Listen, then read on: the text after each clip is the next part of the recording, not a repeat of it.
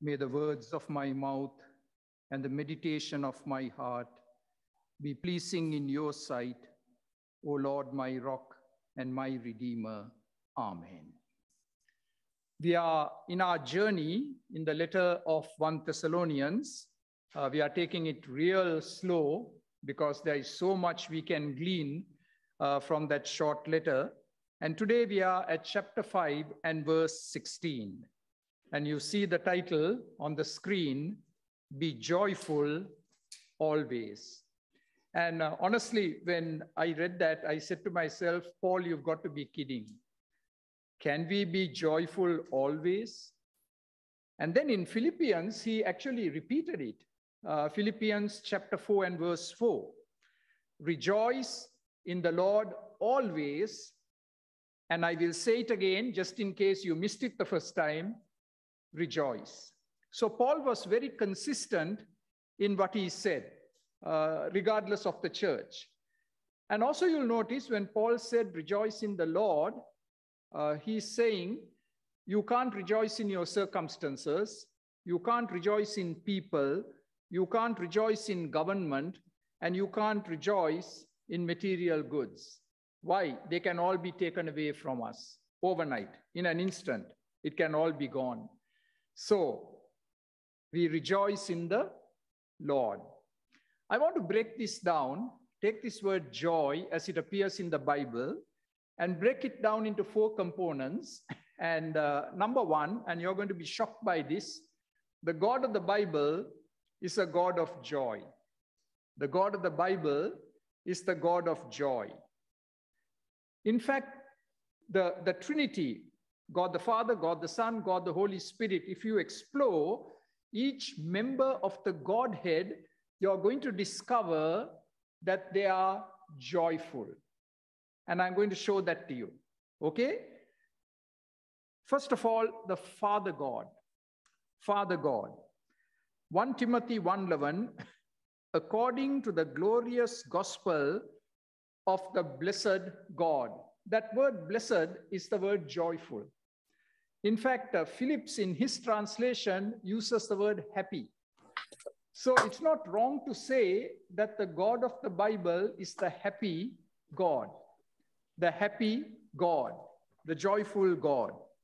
Psalm 43 and verse 4 God, my joy and delight. God, my joy and delight. Zephaniah 3:17, if you really believe it, uh, it will knock you out cold. Zephaniah 3:17. God will take great delight in you. He will rejoice over you with singing. Uh, I'm going to give you my paraphrase of this. God is so excited about you. He has composed a song about you and he's going to dance and sing it. Do you know that there's a verse like that in the Bible? Zephaniah 3:17. Right? Underline it in your Bible. And then Nehemiah 8:10, a verse that you probably should know. The joy of the Lord is your strength. So, what empowers us? What motivates us? It's the joy of the Lord. So, what do we mean by the joy of the Lord? This is a joy which God possesses and experiences. God the Father is the source of all joy. The first song that we sang, I wonder how many of you meditate on the words of all the songs that we sing. Joyful, joyful, we adore thee. One line goes like this Giver of immortal gladness. You need to write that down. Giver of immortal gladness. Immortal means undying, forever, won't perish.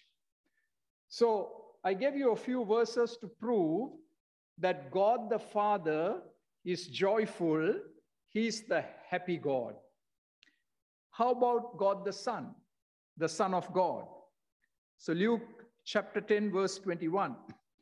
At that time, Jesus, now underline the next three words, full of joy through the Holy Spirit.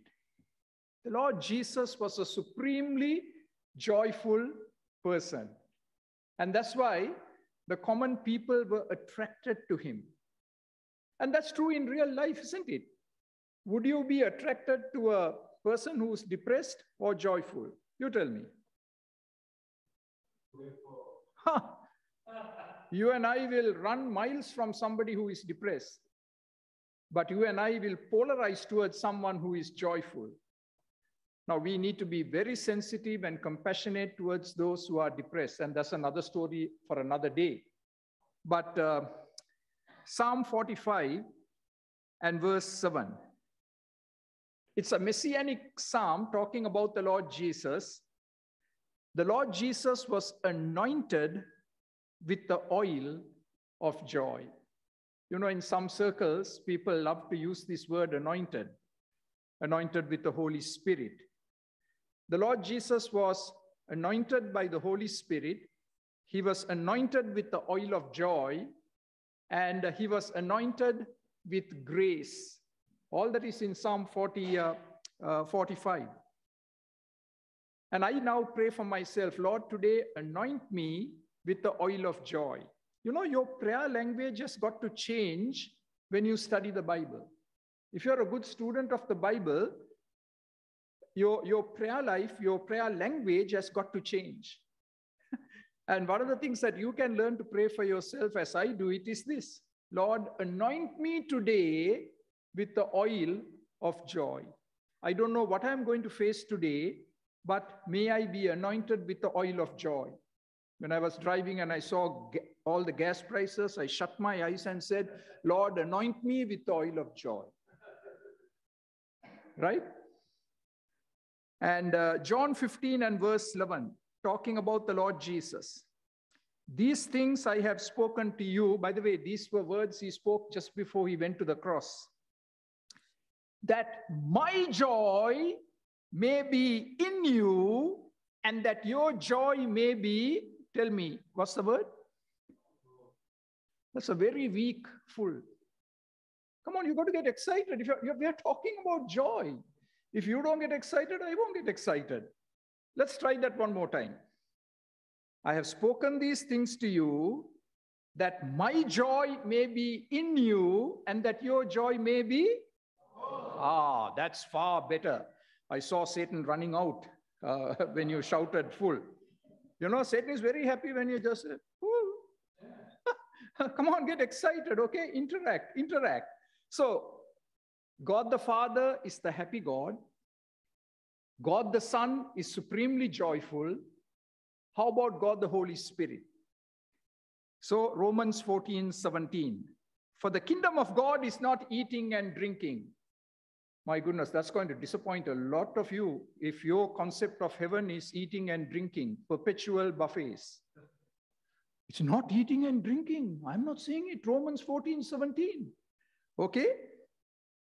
but righteousness and peace and joy in the Holy Spirit. Joy in the Holy Spirit. Now, we learned this in 1 Thessalonians 1 6, just to refresh your memories. The Thessalonian uh, believers received the word in much tribulation. Now, watch the wording with the joy of the Holy Spirit. How do you receive the word of God? Do you receive it with the joy of the Holy Spirit? So, the God of the Bible is the God of joy the Father, the Son, and the Holy Spirit. And J.B. Phillips said, the happy God. I love that. The happy God.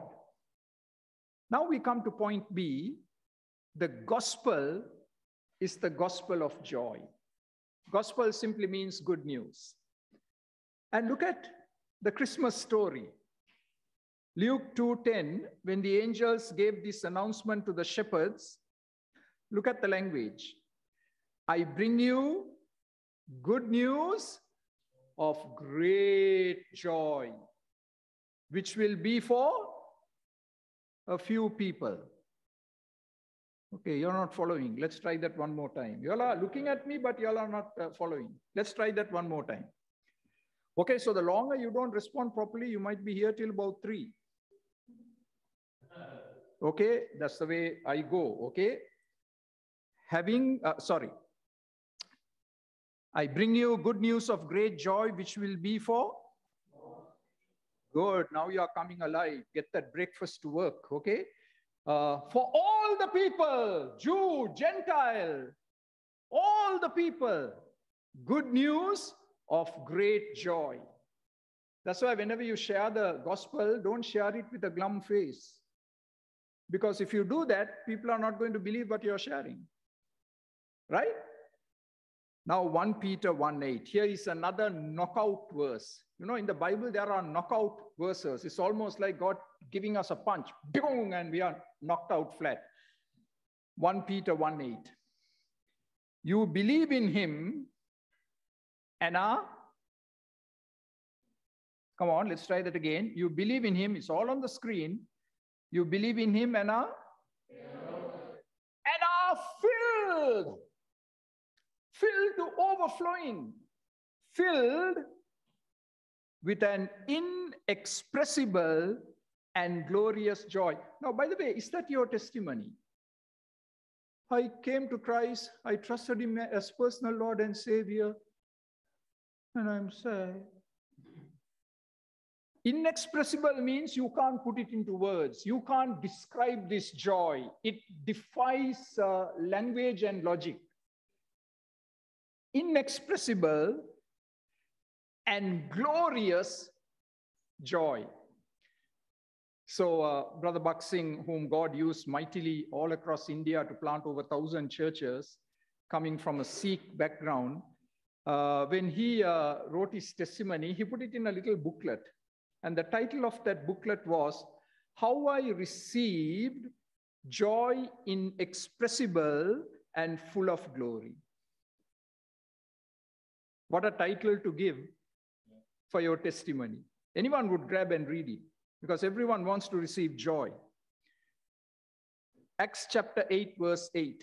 Philip goes to enemy territory, Samaria, preaches the gospel, the good news, and people repent and turn to Christ. Now look at the result. So there was great joy in the city.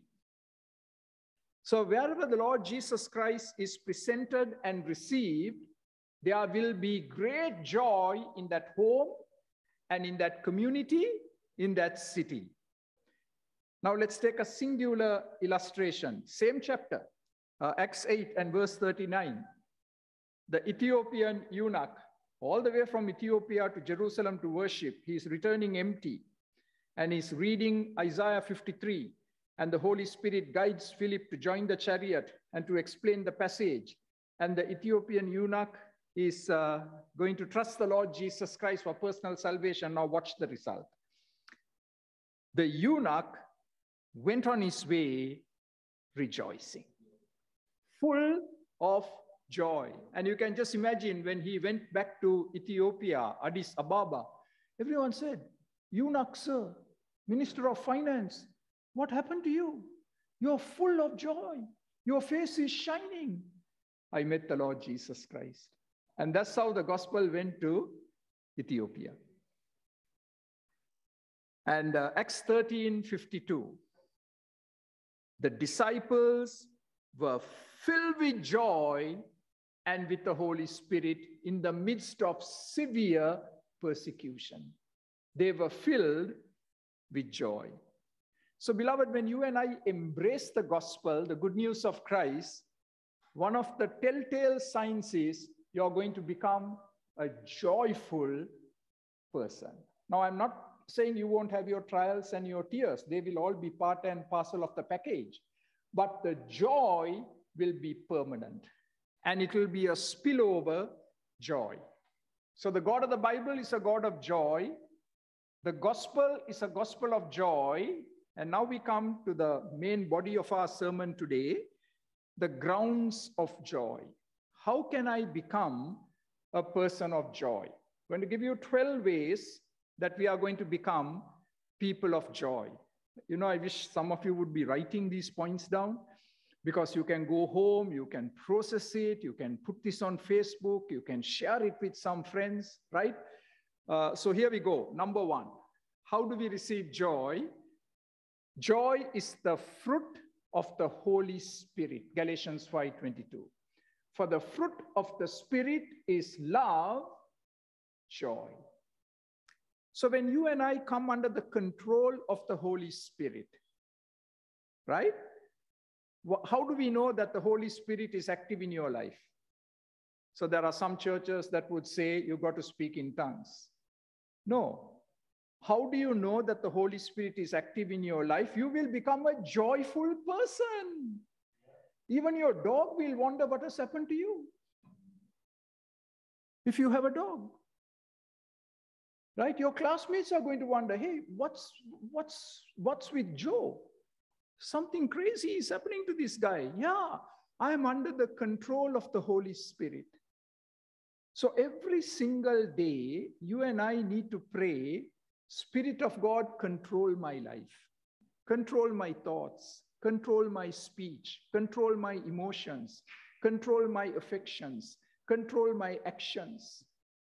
And when you come under the domain of the Holy Spirit, you're going to become a joyful person. That's the first uh, secret. Number two, the Word of God. Now, that is why I'm so passionate about teaching the Bible. Because after you read the Bible and study the Bible, and if you are not joyful, something is wrong. If uh, you're reading the Bible and if the Bible is being taught and you're constantly looking at your watch or you're checking your uh, text messages, something is radically wrong. Jeremiah ministered at a very difficult time 40 years of ministry, zero converts. It's a very depressing book to read, Jeremiah. And there was a point at which Jeremiah said, What's the point? My being in ministry, I'm going to quit. I'm going to work at Tim Hortons. Okay? Now look at the change that came on Jeremiah. Jeremiah 15 and verse 16. When your words came, God in his mercy communicated with Jeremiah, spoke to him, the word of God came to him. I ate them. Will you please write the word meditation on top of it? Ate means he meditated. You know, for most of us, we just rush through Bible reading, isn't it? If we do read the Bible at all. I'm always appalled when I talk to Christians. Tell me something about your devotional life. Uh, thrice a week. Okay, how long? Uh, about five minutes. No wonder you're a, a spiritual pauper. No wonder you're a spiritual pauper. No wonder there's no excitement in your life. Right? I ate them means you read a passage, you reread it, right? You think about what you read, you twist and turn it over in your mind, you check meanings of words, and you ask the Holy Spirit to give you the meaning. You begin to journal. Uh, yesterday, uh, I, I, had to bless two people on their birthdays. Uh, one was an older lady, and the other was a delightful 16 year old girl, all the way in Bandarawela, Sri Lanka. I know her grandmom well, and she said, Pastor, please bless my granddaughter. I said, sure. So we went on uh, WhatsApp and I uh, shared uh, with her a little bit. I said, Do you read the Bible? I said, Yes. She said, Yes. I said, Do you journal? She said, What's that? I said, Do you journal? Uh, and then I had to explain to her what journaling is, right? Do you have a blank exercise book in your house? Yes. Start today on your birthday. What's the passage you read? Put it on top date it, write something down. I'm going to check on you in a week to see how you're doing with regard to your journaling. So, do you journal? Do journal? If I come to your house, can you show me? Pastor, 2022, journal for three months. Now, don't tell me the dog ate it. That's why it's dangerous to have a dog. Okay? When your words came, I ate it means I devoured it, I digested it, it became part of my fabric, spiritual fabric. now, how do you know you have meditated? Look at this verse very carefully. Look at the second part. They were my joy and my heart's delight. If you meditate on the word of God, and meditation is going to take time, you can't do it in five minutes. The end result is you're going to become supremely joyful. Right? you know, when I was growing up, uh, as kids, whenever we uh, uh, did something that we shouldn't do, our parents would say, Go to your room and read the Bible. a good prescription, but the problem is we never did it. Because our parents knew that if you read the Bible, you're going to change. No point in the parents yelling and screaming at you, right? Let the book change you. Let the book change you. So, number two, the Word of God. Number three, the house of God. That's why I want to compliment you. You are here in person in the house of God. Now, watch this verse. Okay, Psalm 122, verse 1. Uh, watch it very carefully, right? I was sad when they said to me, Let us go to the house of the Lord. Only one or two people caught it. Others, you know, sometimes you stare, but you're not really reading. Let's try that one more time. Correct me if I'm wrong. Loud, huh? Correct me loud. I was sad. I rejoice with those who said to me, Let us go to the house of the Lord. You know, uh, last Sunday evening, uh, I was speaking at a Brazilian church, uh, standing room only, just packed wall to wall. And what I loved about the Brazilians is, uh, just like the West Indians, they are very expressive. You can't say one thing and boom, they are, they are, they are reacting, they are responding. And you have several of them having their cell phones in front of you and they are taping the whole message. I love the Brazilian church. But I fell in love. I said, Lord, I will be here anytime. I got so, you know, and one full hour of uh, sermon, and after that, the young people all stayed for another hour to ask questions. They didn't run to Tim Hortons.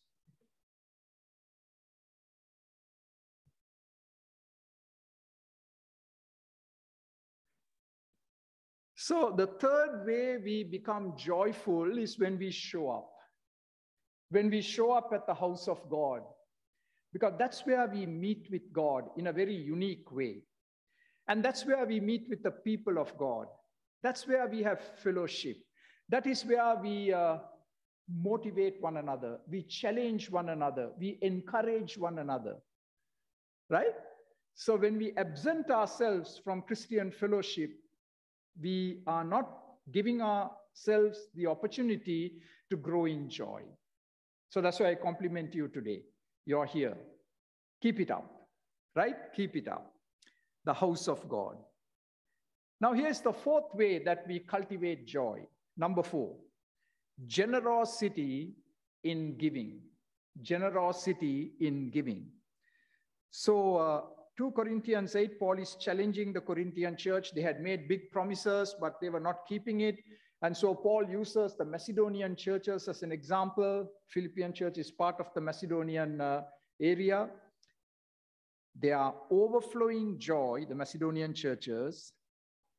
They are overflowing joy and their extreme poverty, their pocketbooks were empty, hardly any money in the pocket, welled up in rich generosity. You know, this uh, formula doesn't make any sense logically. it doesn't make any sense logically. Uh, Paul could have just said generosity. He said rich generosity. So, what made the Macedonian churches be joyful and be blessed by God because they are overflowing joy plus extreme poverty equaled rich generosity. That is why, beloved, none of us can say, I can't give. And I'm honestly talking about money right now. Even students, even young people, we all have something to give. And when that is coupled with overflowing joy, it's going to result in rich generosity, meaning God is going to multiply it. God is going to multiply it. So if you want to be joyful, you and I need to release what we have. Of course, we have to save some money. I'm not against saving money, I encourage it.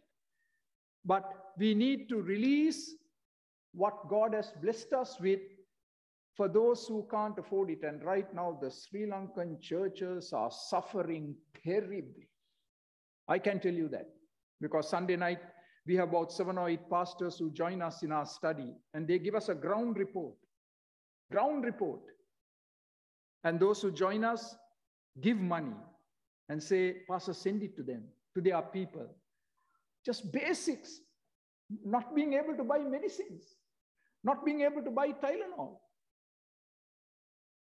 So, beloved, God has blessed us, super abundantly blessed. We don't know what to do with our money.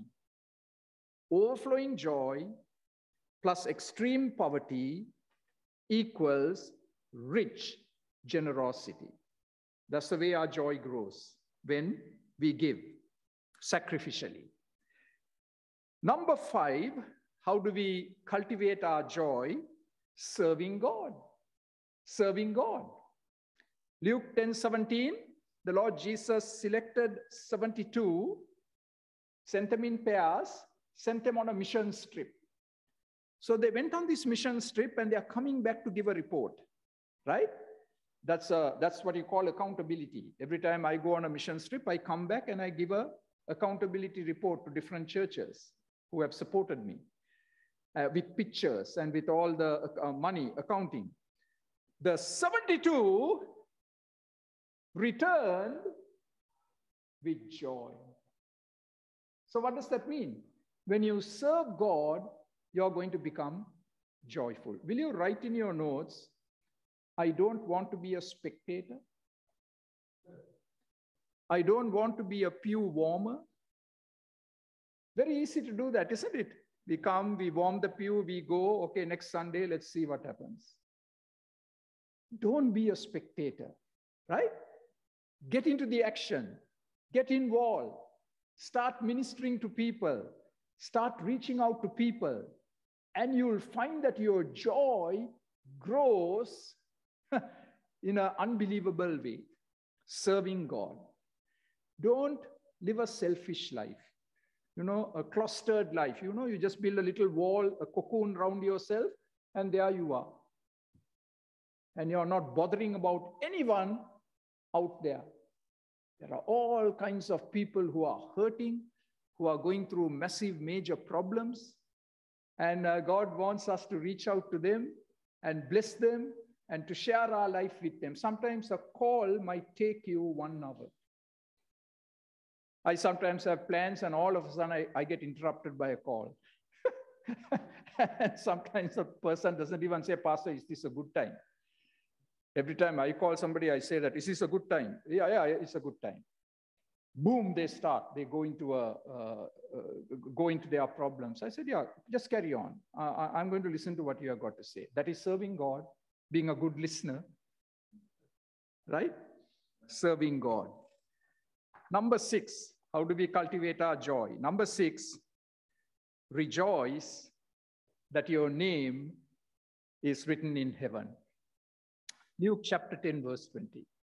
Again, the Lord Jesus looked at these uh, uh, missionaries, 72, and said, Yeah, yeah, yeah, demons left, all that is good and fine, but rejoice that you have been chosen by God, saved by grace, and your names are written in heaven. So that's another cause for rejoicing that God has chosen you out of all the people in this world and uh, he has drawn you to himself with the cords of love. And your name is written in the Lamb's book of life. We were all deeply shocked by uh, the death of uh, a cricketing legend. Uh, for those of you who are cricket lovers, you will know whom I'm referring to. 52 years of age, died of a massive sudden heart attack. And it was very interesting to read all the tributes that were coming in.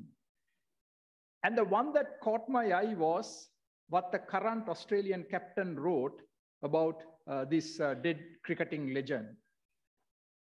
Heaven is going to be a more lively place because the king has arrived. I put my head down and I said, from where did this guy get this kind of theology? He's saying that heaven is going to be a very lively place. Everyone is going to jump up and down because this dead cricketer, the king, has come. Blasphemy, utter blasphemy. That's the view people have of heaven. That's why you have to read the news, you know. When you read the news, you're going to be shocked by what happens out there. And it'll help you to evangelize, right? Don't be like the ostrich, you know, you put your head in the soil and whatever happens out there, let it happen. Has Putin pressed the nuclear button? No, you need to know what the news is so that you can become a good evangelist, right? Now, number seven. Number seven. How do we increase our joy? Future glory. So, Peter, writing to Christians who are suffering terribly, in 1 Peter chapter 1, verses 5 and 6 says, A salvation to be revealed in the last time, in this you greatly rejoice. Look at the two words. You are greatly rejoicing in what? Not in your persecution, but in the third tense of salvation. Past tense, the Lord Jesus died for us. Present tense, the Lord Jesus is sanctifying us. Future tense, the Lord is going to glorify us. He's going to give us a brand new body, and we are going to live with Him for all eternity. We are going to live in heaven for all eternity. Future glory. So, the more you think about heaven and future glory, we are destined for glory. Our joy is going to increase. In fact, Paul called all the trials of this life light, momentary afflictions. Light, momentary afflictions. And when you square it up with the future glory that is ours, it is going to make us supremely joyful.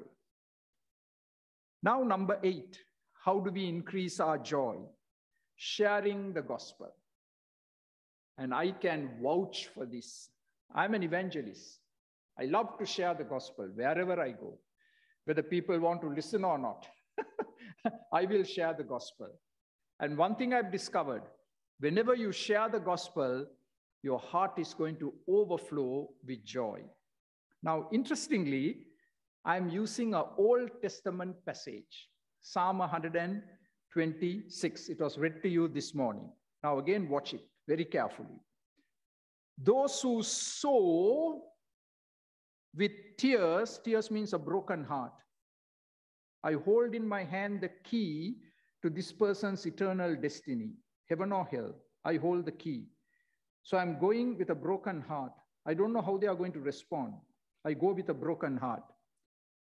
They are going to reap with songs of joy. And then it's repeated. Those who go out weeping, you can't be an evangelist if you don't have a broken heart. Whenever people uh, follow my evangelism courses, the first thing I ask them is, Do you have a broken heart? And I take a stethoscope and put it on the heart.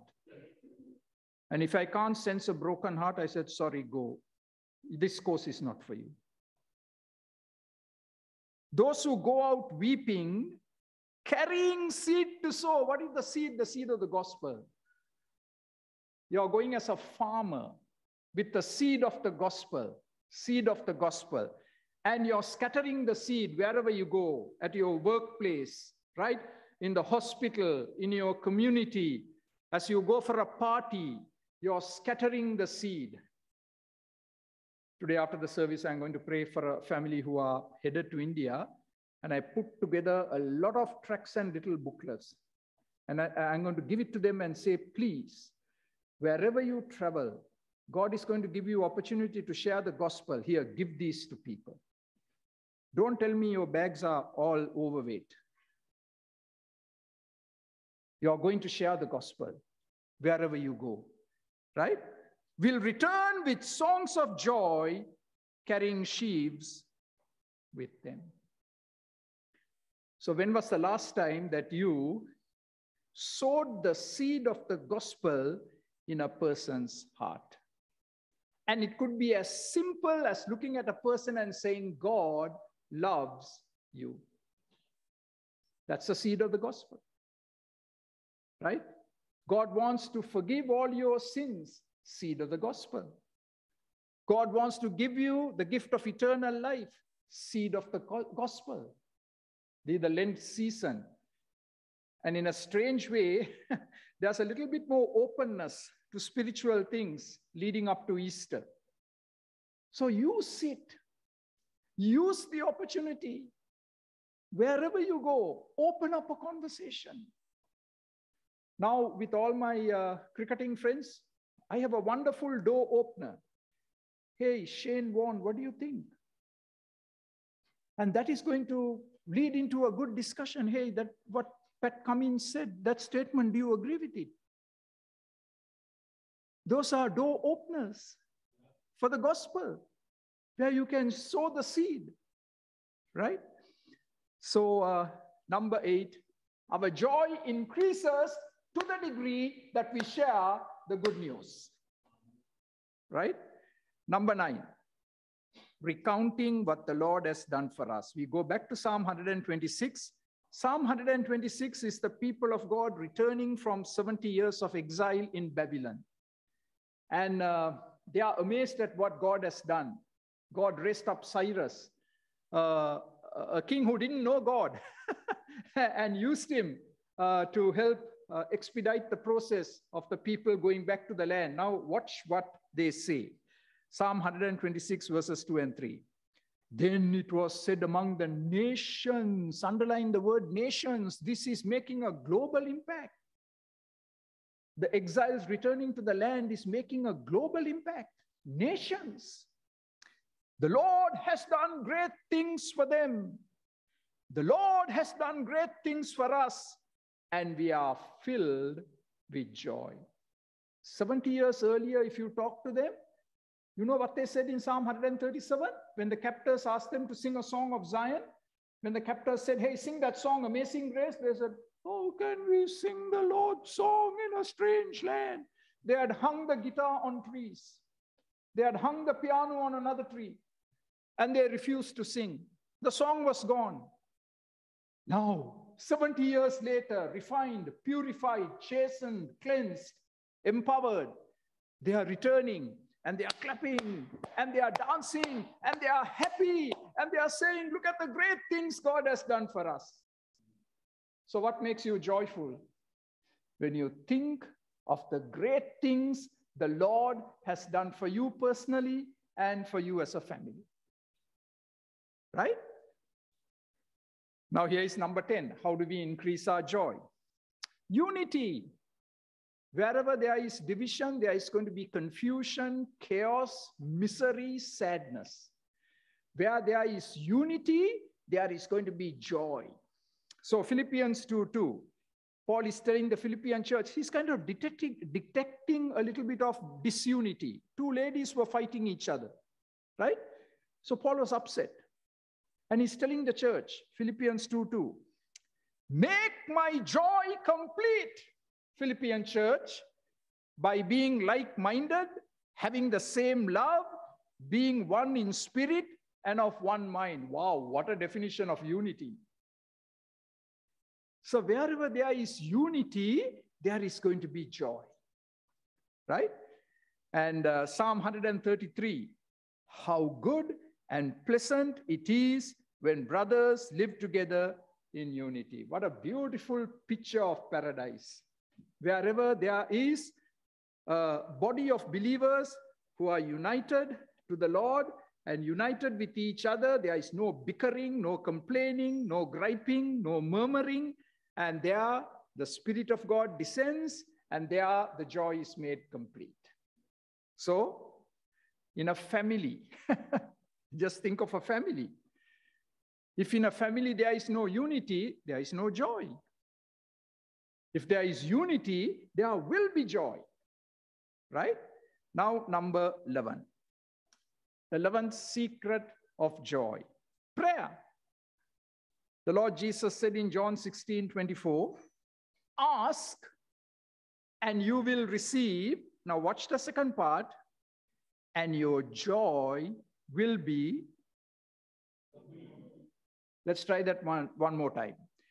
Ask and you will receive, and your joy will be complete. So, do we pray? And do we uh, have answers to prayer?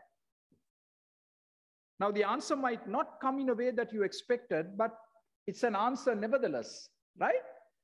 And when the answer comes, you know what happens? Our joy is going to be made whole, complete. So if there is no joy, it may be that we don't pray. We don't pray believing. And we are not experiencing answers to prayer. So become a prayer warrior, and your joy will increase. Now, number 12, the 12th secret of joy. See the risen Christ with the eyes of faith. We are reading John chapter 20. The disciples are totally disheartened. Their master has died. All hopes lost, all dreams crushed, and the risen Christ appears. The disciples were overjoyed, that's an understatement. The disciples were overjoyed when they saw the Lord.